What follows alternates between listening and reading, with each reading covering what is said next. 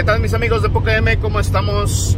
Bienvenidos a otro video más de su amigo Fren Salazar de aquí de Arreglos de M. Este video pues va a ser un poquito simple más que nada para este, aclarar algunas dudas que me han comentado por ahí o, preguntado acerca de las percusiones, este, la SPD30, la Alesis, este, la Yamaha DTX7 y por supuesto la SPD30. Ahorita voy para la ciudad de Norwalk voy a recoger unas tarjetas este, del grupo que tenemos.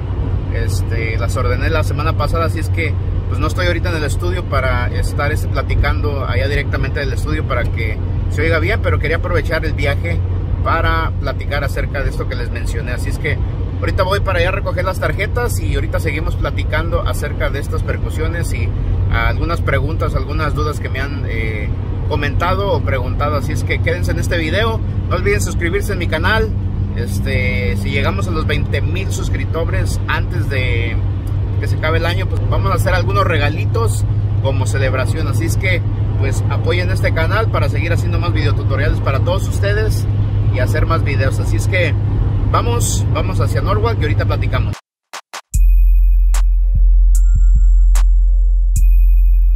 Bueno, pues ya llegamos por aquí al, al lugar donde voy a recoger las tarjetas.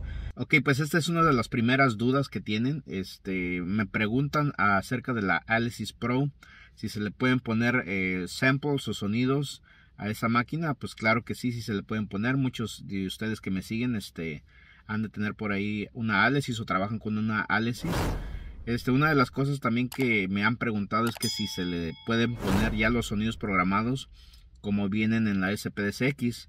Eh, no creo que se le puedan poner ya los sonidos programados. Yo creo que tú necesitarías programar los sonidos ya a tu gusto en ese caso porque no se te pueden mandar una memoria este, con la programación de la SPDCX e instalarla en la Alesis Pro pues ya con los sonidos este, eh, programados. Es lo que tengo entendido yo, ¿verdad? A lo mejor estoy equivocado. Pero sí puedes instalar los sonidos en formato Wave.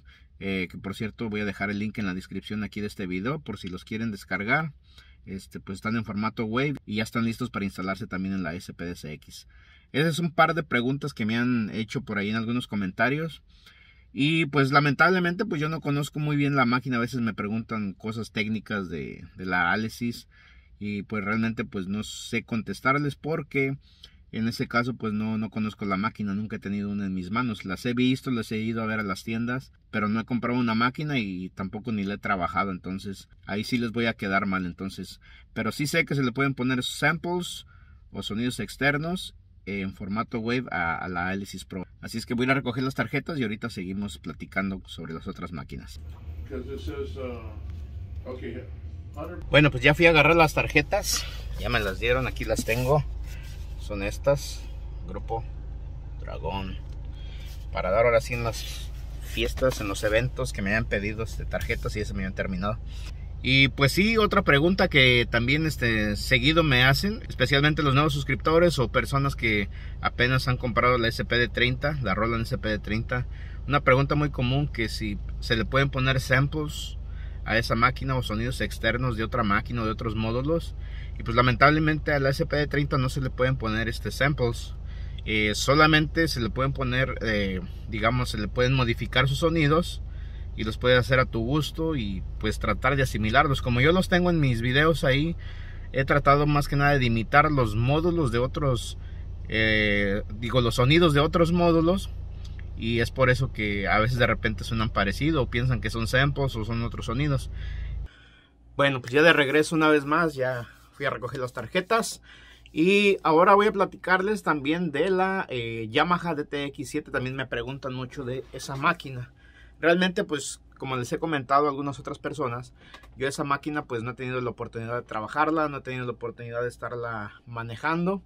Pero sí sé que también le puedes poner samples. Eh, muchos amigos me han ordenado, este, algunos eh, suscriptores me han ordenado samples para esa máquina y, pues de ahí pues solamente sé que sí le puedes programar samples a la DTX 7 eh, si no me equivoco, es de la marca Yamaha y he escuchado muy buenos comentarios acerca de esa máquina y espero un día pues manejarla. Otra máquina pues que sí conozco un poquito más mejor es la SPDCX de la Roland.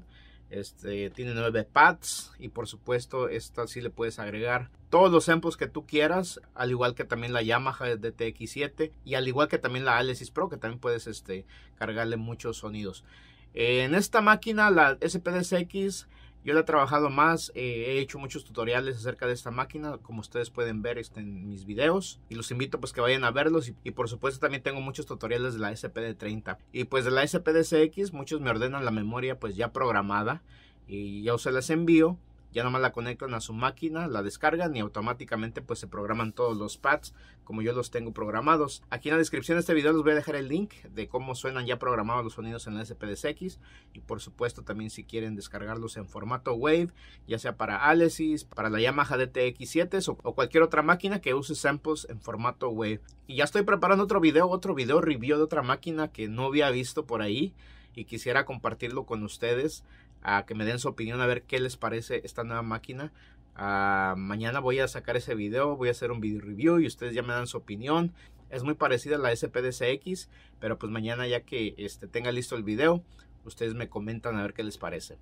Ok, pues estas son las preguntas que usualmente me dejan ahí en los comentarios o me mandan por mensaje. Eh, son muy usuales estas preguntas. Este, muchos de los suscriptores nuevos pues me lo hacen porque de repente a veces compran máquinas este, que nunca han usado antes y pues tienen dudas acerca de estos sonidos. Entonces ahí están aclaradas algunas dudas y esperando pues que les sirvan estas respuestas que le di. Así es que gracias por ver este video. No se les olvide seguir en mis redes sociales. Eh, arreglos de Poca M en Instagram. Arreglos de Poca M en Facebook. Y por supuesto aquí suscríbanse a este canal dejen sus comentarios. Ahorita mi meta es llegar a los 20 mil suscriptores y si se pudiera antes de que termine este año. Este, primero Dios, este, vamos a hacer algunas rifas de sonidos, memorias que se pueden enviar aquí, por supuesto, en el área de Estados Unidos. Ya si es para México o para otros países, pues tendríamos que enviarlos por correo electrónico. Así es que vamos a hacer una rifa de varios memorias. Vamos a rifar, este, vamos a regalar algunos paquetes de samples. Así es que, así es que, pues los invito a que sigan compartiendo mis videos y miren mis videos para llegar a la meta de los 20 mil suscriptores. Muchas gracias amigos, como siempre les digo, éxito para todos ustedes y nos vemos en el próximo video. Muchas gracias, bye.